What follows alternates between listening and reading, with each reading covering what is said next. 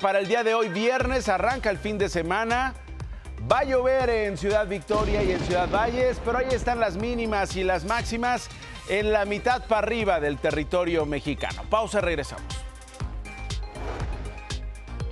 Este es el sur y el centro, también el occidente de México. Las temperaturas para el día de hoy llueve en Tuxtla Gutiérrez, en Villahermosa y en Oaxaca. Ahí tiene la probabilidad de lluvia y las máximas y las mínimas en el resto del territorio mexicano.